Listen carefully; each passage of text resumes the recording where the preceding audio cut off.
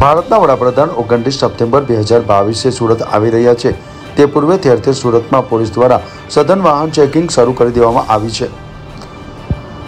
સુરતમાં VR circle પાસે police અધિકારીઓ દ્વારા ગાડીઓનું ચેકિંગ કરવામાં આવી રહ્યું છે. ભારતના વડાપ્રધાન જ્યારે સુરતમાં આવી રહ્યા છે, ત્યારે કોઈ અનિચ્છનીય બનાવ ન બને તેના ભાગરૂપે વાહનોનું ચેકિંગ કરવામાં આવી રહ્યું છે. વડાપ્રધાન મોદી સુરતના લિંબાયત વિસ્તારમાં નીલગિરી સર્કલ પર કાર્યક્રમમાં હાજરી આપવા આવી રહ્યા છે.